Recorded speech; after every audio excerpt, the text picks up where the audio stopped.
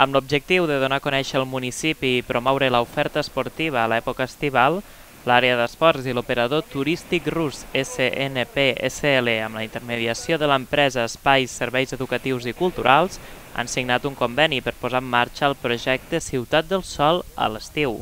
En concret, serà del 16 de juny al 25 d'agost i consistirà en estades de 5 torns de 15 dies cadascuna a pensió completa i allotjament a l'alberg residència esportiva Àster de l'Hospitalet de l'Infant.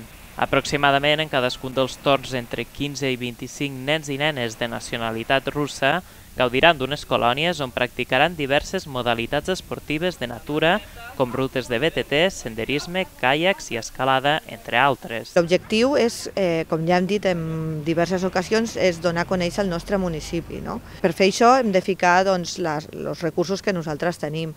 Eh, òbviament això no ho fem per a, per a tindre guanys, lo que, perquè l'Ajuntament no és una empresa per tindre guanys, tot això eh, lo munta Llastres, que és una empresa 100% amb capital municipal, i el que fem és que donem aquest servei, d'aquesta manera venen turistes, ven, venen gent de fora i deixen un valor residual sempre als nostres, als nostres comerços i als nostres eh, establiments d'oci bueno, que tenim aquí al municipi. El conveni de col·laboració té una durada d'un any i si es compleixen les expectatives es podrà prorrogar anualment.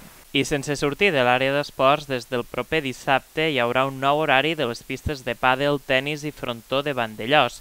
Serà de dilluns a divendres de les 5 a 2 quarts de 10 de la tarda i els dissabtes i diumenges de 10 del matí fins a les 10 de la nit. Els caps de setmana, l'entrega de claus i reserves es gestionaran des del bar del Casal de Vandellós.